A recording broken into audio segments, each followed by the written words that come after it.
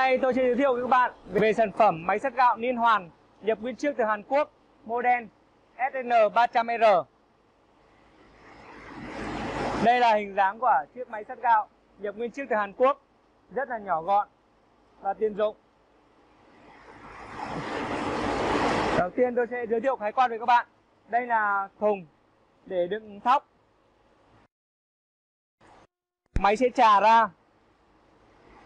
Chấu thì sẽ được ra theo cửa chấu đây. Và gạo nếp sẽ xuống dưới và đi theo đường băng tải lên. Sau đó được sàng tạp chất, tạp chất đi ra bên ngoài này. Và gạo nước sẽ được đưa xuống buồng sắt trắng và gạo trắng sẽ được ra đây sàng tấm và sạn sẽ được đi theo đường này và cám sẽ được đi theo đường ống và tấm sẽ được nọc bên dưới như này và đưa xuống cái này. Đây là bộ điều khiển của máy. Công tắc này công tắc bật uh, lên để cho cối lức công tắc uh, bật cho cối trắng. Đồng hồ hiển thị ampe. Và đây là đèn báo hiệu.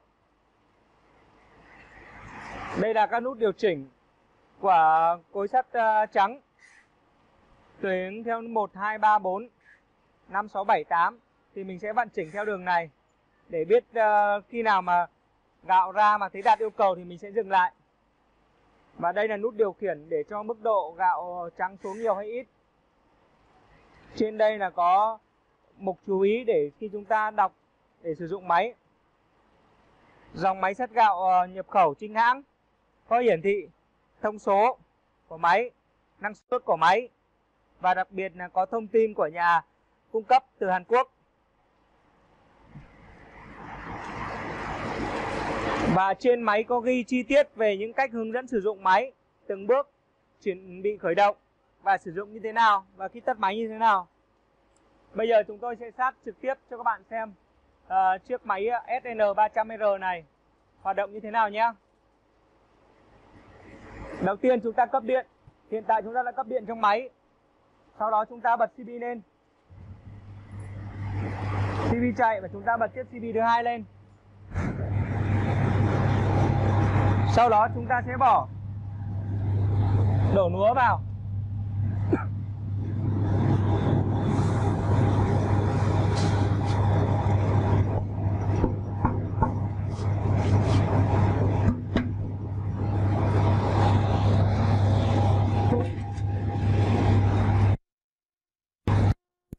chúng ta mở buồng à, của cối à, nước ra để xem cái à, nguyên lý hoạt động ở bên trong. Bây giờ chúng ta sẽ mở nút để cho nua xuống.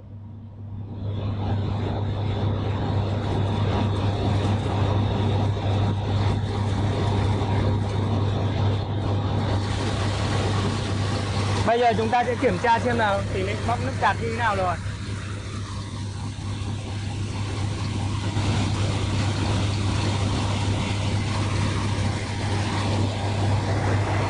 Sau khi tràn nước xuống, thì nước sẽ đưa lên trên này và tràn qua đây.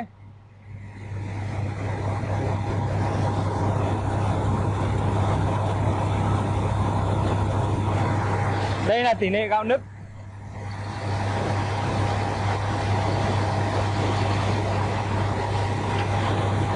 tạp chất sẽ đi đi ra theo đường này.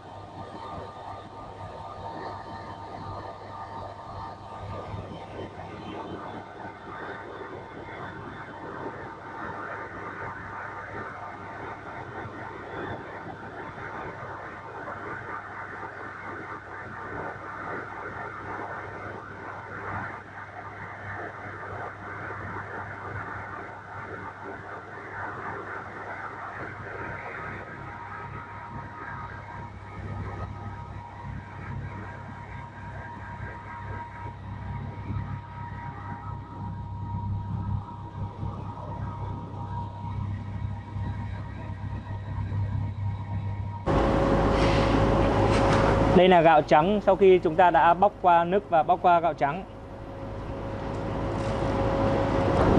Và đây là gạo tấm.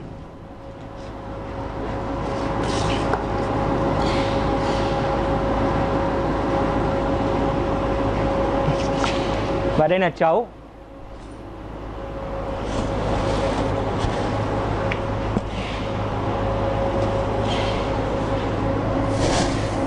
Chéo bóc ra rất là sạch và đẹp nha các bạn. Và bên này là cám.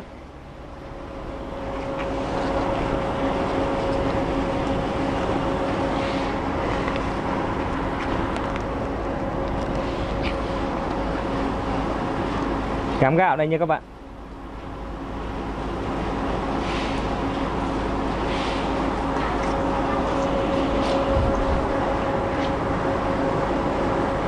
Vâng như vậy tôi vừa test xong cho các bạn về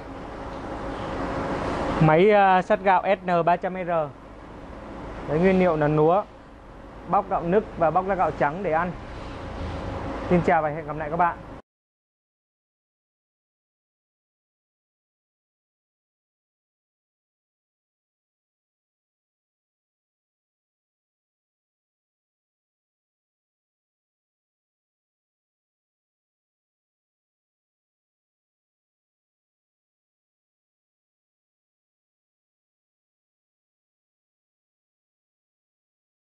Bà con đừng quên bấm nút đăng ký kênh video của Thế giới máy và bấm nút chuông ở bên cạnh để nhận thông báo mỗi khi Thế giới máy đăng tải video mới hướng dẫn sử dụng máy móc, thiết bị cho bà con.